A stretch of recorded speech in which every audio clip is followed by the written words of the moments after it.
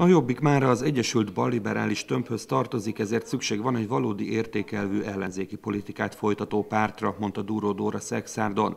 A Mi Hazánk mozgalom alelnöke második helyen van a párt EP listáján, az elnök Torockai László mögött. Arra számítanak, hogy a május 26-ai választások után az Európai Parlament összetétele jelentősen meg fog változni, és előre törnek a bevándorlás ellenes erők. Velük értékelvű együttműködést elképzelhetőnek tart Dúró Dóra, és azt azt is várja a választástól, hogy olyan témák is az Európai Parlament asztalára kerülhetnek így, amik most tabunak számítanak.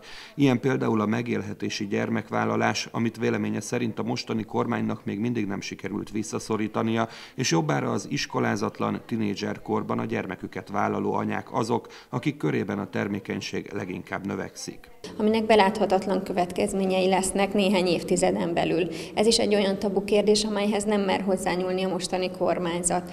De ennek a, a cigánykérdésnek a vetületei a bűnözés tekintetében, vagy az oktatás vonatkozásában is nap, nap mint nap az emberek hétköznapjaiban megmutatkoznak, és erre is a mi hazánk mozgalomnak vannak természetesen javaslatai. Ilyen az oktatás színvonalának erősítése érdekében a szegregáció, vagy különösen súlyos életellenes bűncselekmények esetén a halálbüntetés bevezetése.